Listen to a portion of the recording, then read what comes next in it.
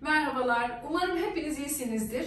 Sizden çok güzel geri dönüşler alıyoruz. Çok sağ olun. Danışmanlıklarıma gelen müvekkillerim hep e, güzel şeyler söylüyorlar. E, bunları duymak çok güzel. Biz de çabalıyoruz. Size her zaman en doğru ve en güzel, en doğru bilgileri verebilmek için. Çünkü bunlar bizim için çok önemli.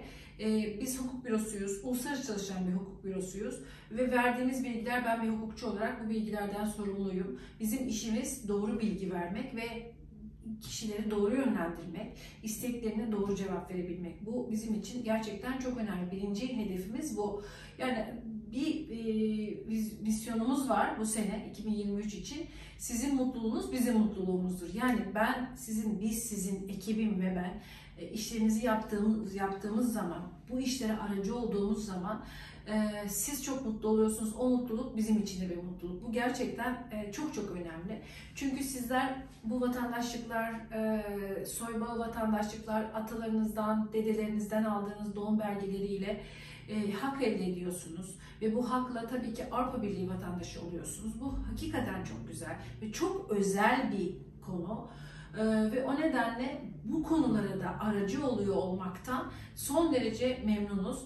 Ee, çünkü bunun sonucunda hep mutlu oluyorsunuz ve e, bizler de mutlu oluyoruz tabii bu işleri yapıyor olmaktan ve aracı oluyor olmaktan. Ee, ben D-vize ile ilgili bir konu var. Onu paylaşmak istiyorum sizinle. E, D-vize biliyorsunuz birkaç daha önceki videomda ben e, anlatmıştım D-vize çeşitleri. Şöyle kısaca anlatayım. Bir e, bizim e, göçmenlikle olan D-vize var. Oturum alınıyor. D-vize oturum demek aslında. Çalışma izniyle, öğrencilikle, evlilikle D-vize çeşitleri var.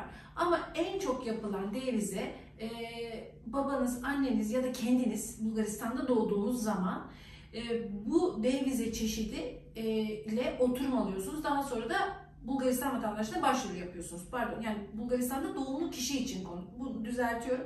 Bulgaristan'da doğumlu kişilerin vatandaşlığını geri alması için e, olan D-vizeden bahsediyorum. Burada çok önemli bir husus var. Adres konusu. Adres eğer bulduğunuz adresler bu tanıdıklarınız olabilir, akrabalarınız olabilir, kira kontratı ya- yapmak durumundasınız. Bir adres belirtmek zorundasınız D-vizede. Bu adreslerde e, mutlaka D-vize çıkmadan önce e, Bulgaristan'daki görevliler, daha çok emniyet müdürlüğünden emniyet görevlileri gelerek adrese bir kontrol yapıyorlar. Bu çok önemli bir konu. Çünkü bu kontrolde bu kişilerin burada oturup oturmadığı, tanınıp tanınmadığı bu tür sorular soruluyor. Evlilikte de soruluyor, e, göç nedeniyle olan D-vizede de sorun- soruluyor. Buraları çok sağlam kontrol altına almak lazım. Çünkü D-vizeniz red gelebiliyor. En önemli konulardan bir tanesi bu. D-vizenin red gelmemesi için Bulgaristan'da ki kira kontratı ve bulunan adreslerin doğru, güvenilir adresler olması gerekiyor.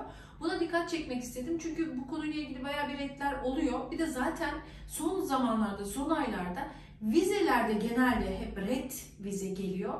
O nedenle bu konular hani bu konular özellikle biz çok e, çalışıyoruz ve kontrol almaya altına almaya çalışıyoruz. Çünkü D-vizenin red gelmesi sonuçta bize dönüyor ve biz bu konuyu düzeltmek durumundayız. Size bir taahhüdümüz var ve e, biz de bu taahhüdümüzü yerine getirmek istiyoruz.